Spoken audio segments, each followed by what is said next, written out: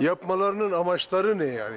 O soruya iktidarda basit, ucuz, sığ provokasyonlar. Bunu bunlara gelmeyeceğiz. muhalefet de Bu açık bir provokasyon. kapılara işaret koymanın Çorum'da, Maraş'ta ve başka yerlerde ne anlama geldiğini gayet iyi herkes biliyor.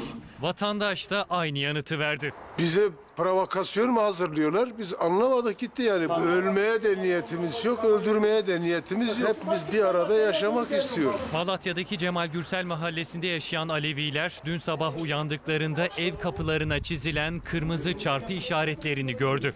Bu mahalle ba- baştan sona yapılmış. İki sokakta yapılmış.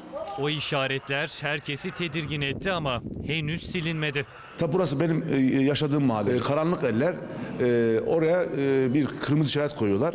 CHP ve HDP milletvekilleri iktidarı suçladı, karanlık elleri bulun dedi. Ciddi bir soruşturma gerçekleştirilmesi, sorumlularıyla, failleriyle ilgili kamuoyunun aydınlatılması gerekiyor. Emniyetse soruşturma açıldığını duyurdu. Kınıyoruz açıklaması yaptı. Sinir uçlarına dokunmak istiyorlar ama bu oyuna e, başta Aleviler olmak üzere hiçbir Malatyalı gelmeyecektir. Biz Aleviler, biz başkalarının inançlarına uymak zorunda değiliz. Barışı inşa etmeye çalışacağız.